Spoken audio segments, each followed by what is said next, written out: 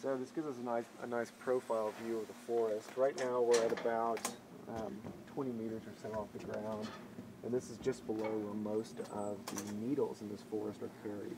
So this is a bottom-heavy forest in the sense that most of its needles are carried in the bottom third. We're not really sure why. We think maybe that's a sweet spot as far as incoming solar radiation, the ability of the trees to pump up water from the ground, and maybe this is just the maximum, the, the best